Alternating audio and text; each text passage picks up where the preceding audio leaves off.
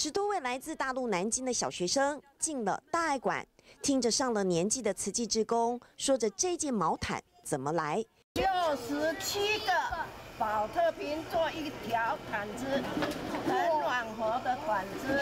硬邦邦的保特瓶经过再制，成了柔软的纤维。摸摸看这有没有细？我也觉得特别神奇，像比棉花还软。因为我觉得保特瓶它都硬硬的，不可能会变成这么软。但我真的见到了，比棉花还软，非常软。嗯，舒服吗？很舒服。嗯。慈济怎么做环保？孩子们亲眼见到，亲手触摸。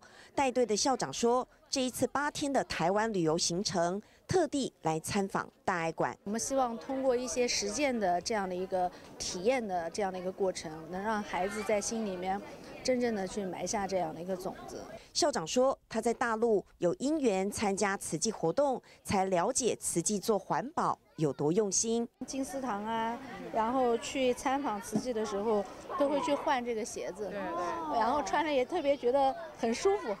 他随身带着慈济的袜套，很多用品都来自大爱感恩科技。